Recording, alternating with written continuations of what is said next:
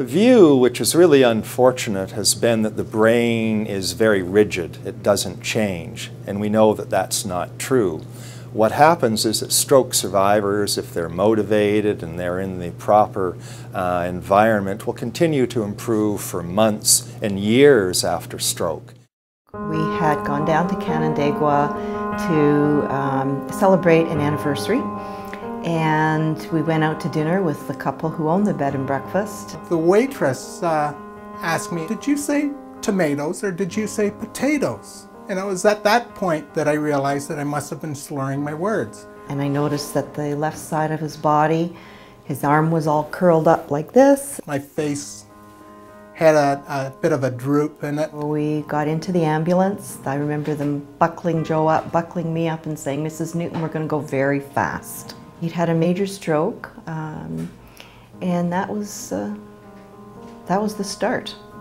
Stroke is an enormous uh, problem in Canada. Each year we have about 50,000 people who suffer stroke, and a great many of these individuals are left with permanent disabilities. It was much more difficult to, uh, to plan, to, uh, to do more than one thing at a time. The vision of the center is really quite ambitious. It's really a world in which stroke leaves no lasting mark. The recovery process is an ongoing process. It's 13 years of gradual change. One of the milestones for me was being able to eat solid food. It was such a treat to see the expression on his face when he bit into an apple after months and months. And he said that was the best darned apple he'd ever had.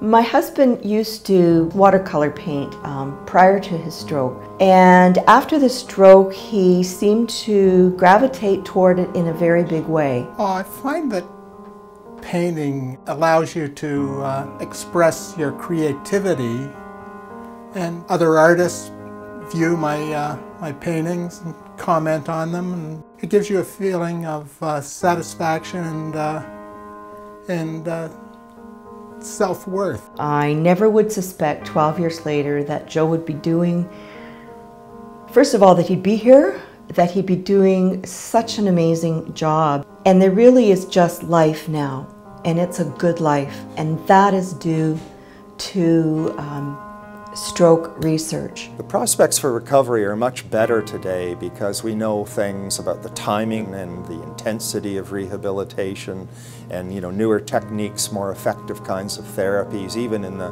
kind of chronic phase, months after stroke has occurred, that can produce improvement that we never thought was possible before.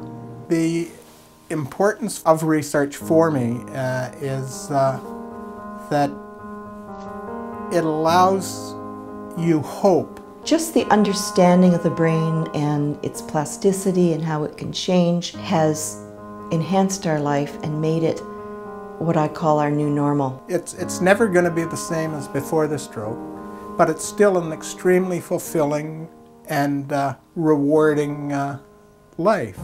He is back to full-time cooking. That's just amazing. I leave him in the kitchen, he does his work, he brings out my dinner.